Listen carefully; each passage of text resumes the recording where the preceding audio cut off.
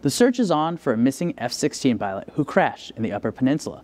An F 16 assigned to the Wisconsin Air National Guard's 115th Fighter Wing crashed late evening in the Hiawatha National Forest. A search for the pilot is underway just inside Delta County and near Schoolcraft County. Uh, my wife and I were watching TV about 8 o'clock and a huge explosion shook the house. I, I thought maybe my garage has exploded, so I went out it's five, five o'clock this morning when I found out that the airplane went down and the pilot was missing. Authorities closed off access to the immediate area near Stevens Lake. Local, state, and national officials are on standby as the military conducts the search and rescue operation. The Department of Defense has set up a base camp to coordinate ground searches, as well as had two A 10 military aircrafts doing a low altitude search of the area. The military has been pretty tight lipped about what they called a routine training mission with one pilot on board. An eyewitness told ABC News that the sound from the F 16 engine seemed off and drew their attention. A retired Air Force veteran in the area said the F 16 was flying very low, and another eyewitness, who did not want to be identified, said the aircraft was upside down moments before it crashed. A source that was helping with the support operation said the F 16 most likely crashed north of Stevens Lake in or around Bog Lake. While only the military is officially searching for the missing pilot, locals who know the heavily forested area are taking it upon themselves to provide volunteer assistance. Last night around 8 o'clock, actually 8.18, because I texted my mom, what was that? Um, we heard this very loud boom and kind of a rattling of the cabin that um, I'm staying in.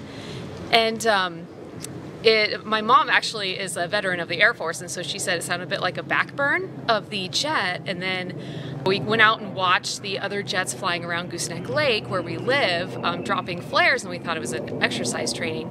And then come to find out this morning that they were probably searching. And so, yeah, ever since then, there's been military copters and and uh, more jets flying around. And there's ground search parties as well. And I'm just trying to do my part and walk around the, the hiking trails that I know and see if I can find anything. I heard that plane went down took my flashlight and mountain bike and started going out with a flashlight looking for the pilot. The remote area with little to no cell service was an obstacle. Additionally, the jet crashed in the 879,000 acre Hiawatha National Forest with trees that make it hard to see further than 50 feet off the main road. For now, the search continues for the missing pilot.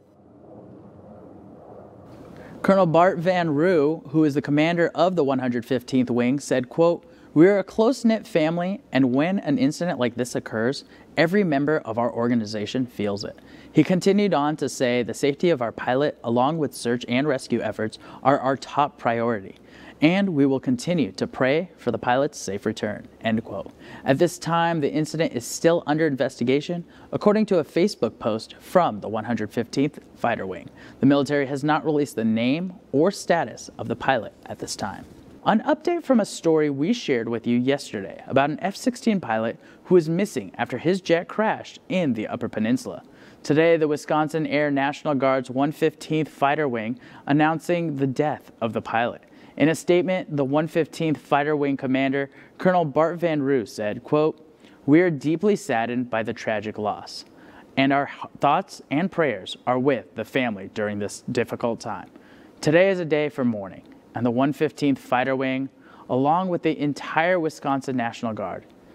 Stand with the pilot's family as we grieve the loss of a great airman and patriot. End quote. The crash occurred within the Hiawatha National Forest on Tuesday night. The cause of the crash is under investigation. Department of Def Defense policy does not allow the pilot's identity to be released for 24 hours after the service member's next of kin is notified.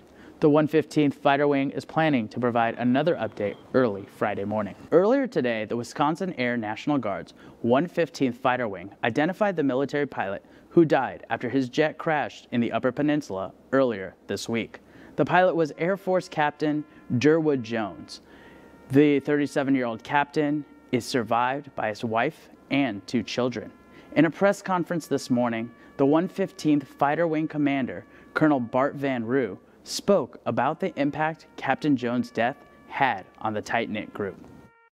An exhaustive search that began immediately following the aircraft's disappearance. It is with deep sorrow that we report that the pilot of the downed aircraft lost, lost their life in the crash. Our primary concern and focus right now is for the family of the pilot. The fighter wing and the Wisconsin National Guard are deeply saddened by this tragic loss. Our dedication to duty and the training that is required of this job develops a bond that, that is like no other. The loss of a member like this is a very difficult thing for such a committed group of professionals.